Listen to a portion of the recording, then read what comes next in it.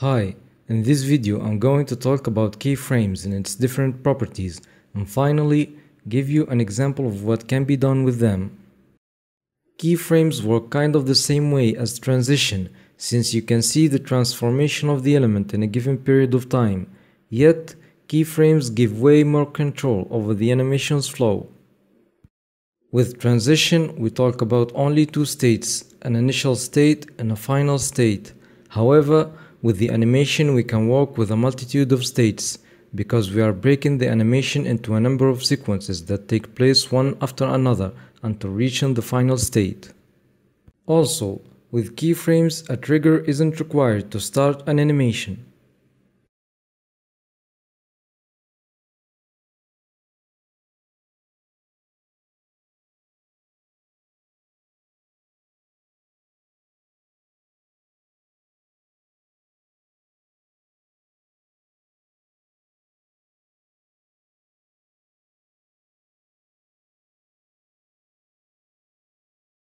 With keyframes, we create the animation separately of the element that we want to animate, and then specify what happens during the period between the states.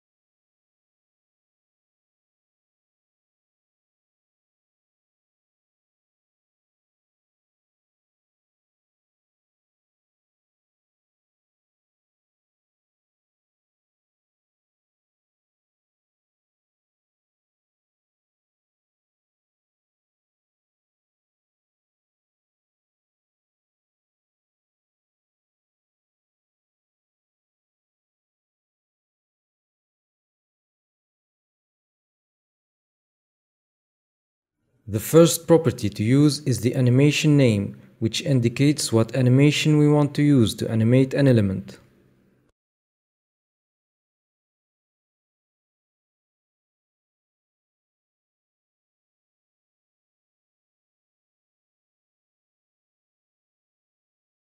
The second property is the animation duration, which is the time that takes for the animation to take place.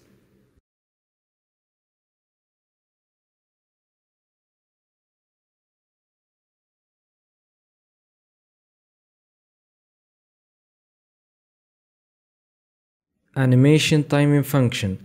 This property adds more realism to the animation like giving an elastic or stretching look and feel.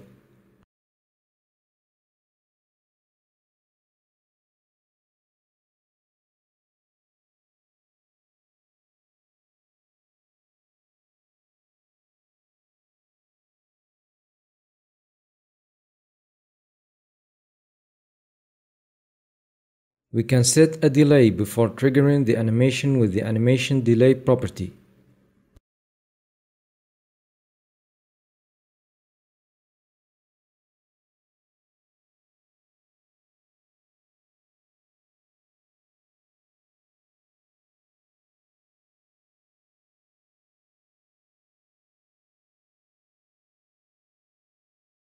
After the end of the animation, the element returns to its initial state by default, but given the forwards value to the animation fill mode property, we can leave it at the final state.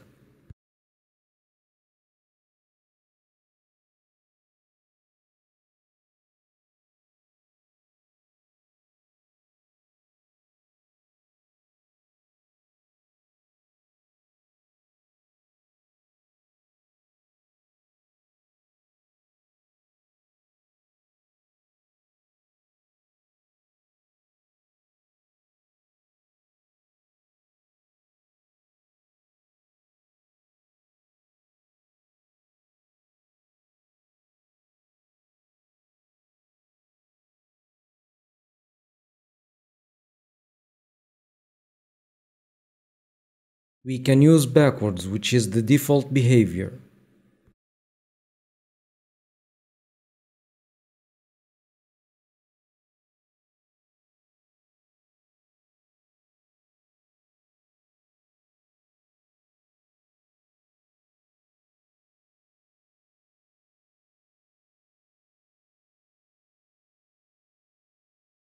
With animation iteration count, you can specify how many times the animation can take place. You can either set a numeric value or infinite, which will make the animation run indefinitely.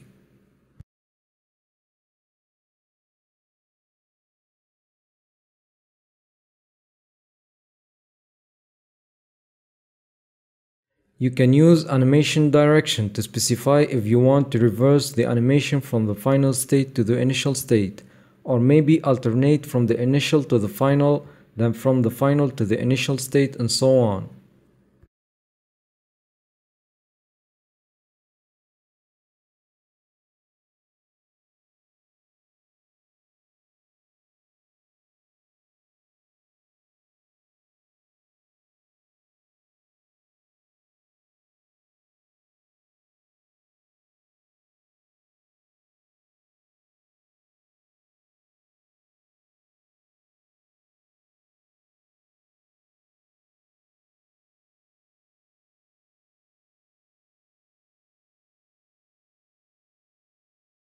Finally, the animation play state, which specify if you want to run the animation or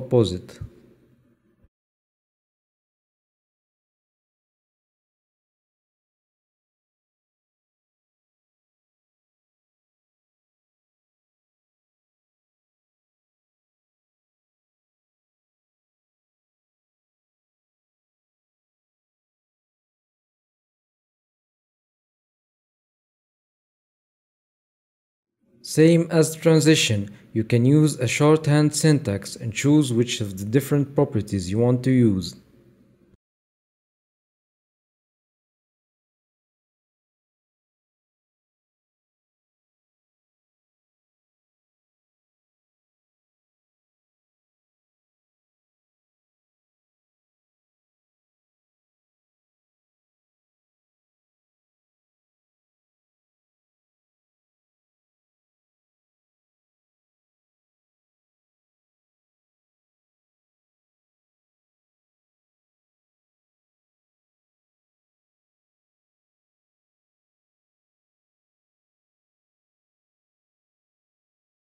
That being said, let me show you a basic example of what can be done with keyframes.